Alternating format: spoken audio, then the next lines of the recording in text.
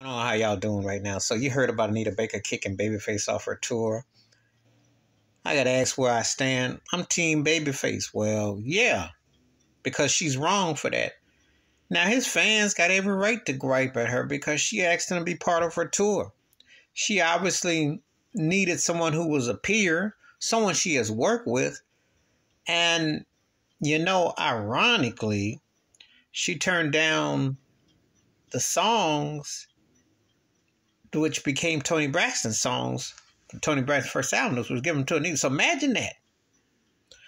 Some people don't like to hear the truth. Anita always been, you know, talented. I like her a lot. One of my favorite female artists ever. But been a little baddie, a little cray cray ever since that whole fiasco her and Luther Vandross. So some people out here in these streets, I saw Tank is supporting Babyface. They said a brother needs some needs some support. He do because she asked him to be part of the tour. Now, even though it was her tour, she still wanted him for support. You know, and to do this, you know, and let people get all in, get all in their feelings and say all kinds of stuff is not a good look on her part. You know, she just has his fans to chill, but see, she brought this energy, she brought this heat, so it is created some tension. You know, you know, and it's unnecessary because at this age and stage, you wouldn't think. But you know what?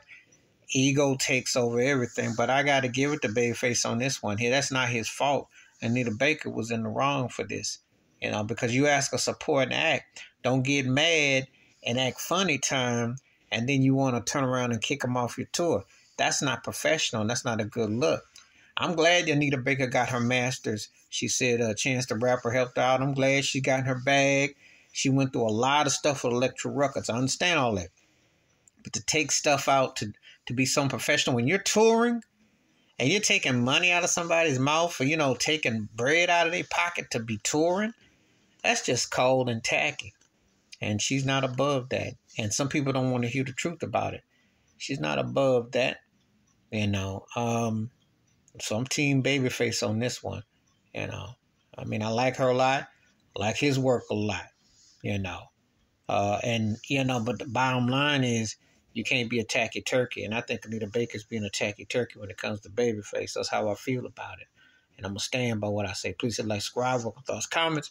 And I do respond. Thank you. Wash your hands. Keep your mind clear. Watch out for another shit if you want to. I'm out.